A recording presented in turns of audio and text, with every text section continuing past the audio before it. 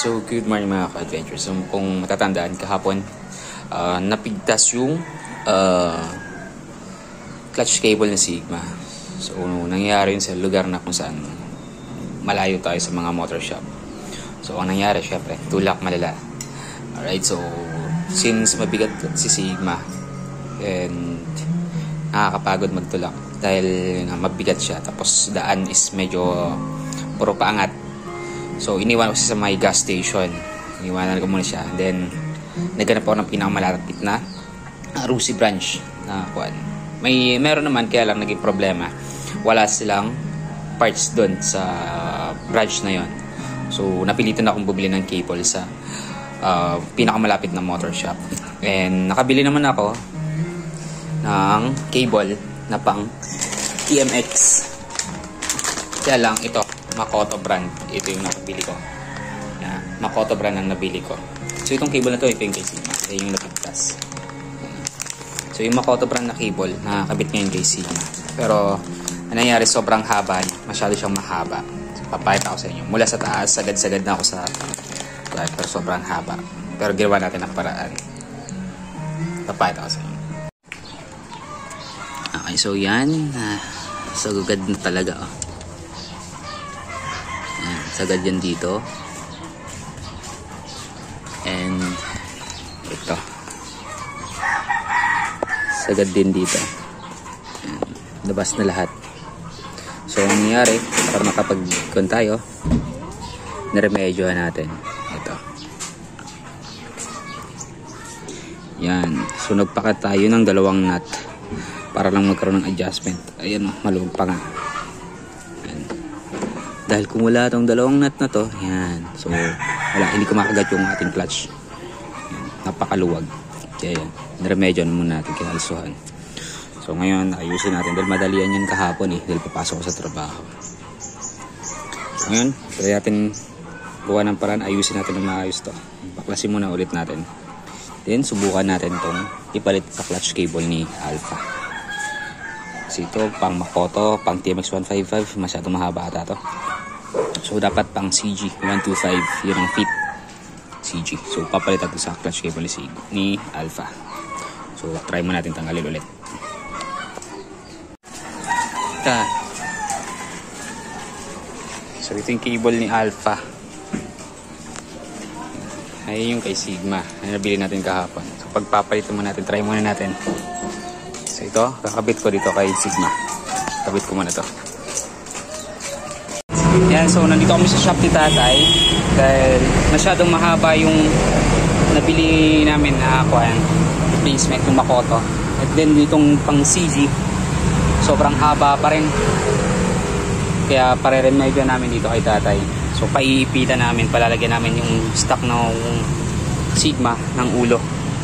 Palalagyan namin. Tapos ito, papuputulan namin to para maging kasukat ng kay Sigma. Yan. So mamaya titignan na paglabas natin ata ito and titignan natin kung ano magiging itsura. Yan. Yan. So ito yung haba niyan. Yan. So ito yung kay Sigma. Yan yung replacement. Haba. Yan, napakaraming spare ni tatay. Oh. Yan, mga ginagawa niya. So ito yung shop ni tatay dito. Yan. Ayan, si Taimoto repair. So lahat ng klaseng repair na pwede nyong pagawa, baka kaya ni tatay. Ayan, dito. So, marami siyang mga pyesa.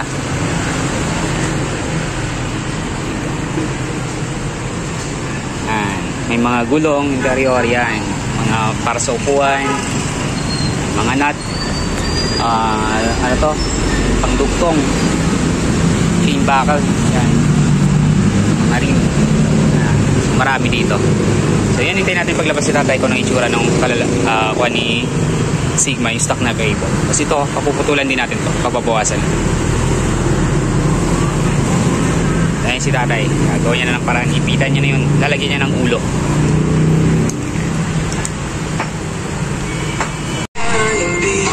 Yan, so tinitesting ni tatay.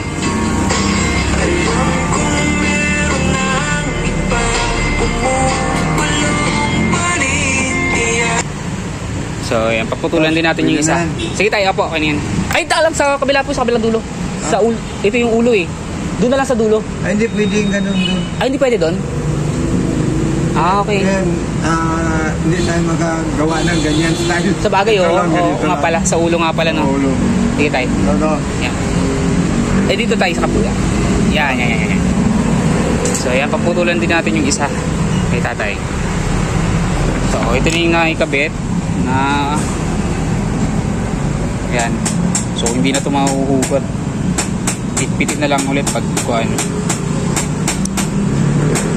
Marami nang nagawa na ganito si tatay. So, 50 pesos lang naman palagay niyan. May kakabit ulit natin. Remedyo. Pang reserva. Pero syempre bibili pa rin tayo ng stock. Ito ba, mga backup na lang to just in case magkaroon tayo ng emergency. Bibili pa rin naman tayo ng stock.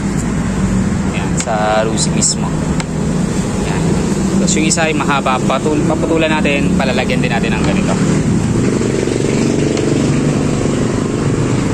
Yan, so uwi na tayo. Okay na. Tara, so try na natin ito agad. So yan na yung ulo. Tingin. Yan. Tara, kabit natin. Lusot mo. Talang, talang. Lusot mo muna ayos dito. Okay na. Lusot mo ito to. Hindi pa. Ayun. Okay na. Iisa mo. Baba mo yan. Baba mo lahat. Sagad mo dito. Talang. Hmm. Sige. Yan. Okay, mamaya mo na yan. Mamaya na. So, baba naman. Nandito. Lusot mo yung kable. Okay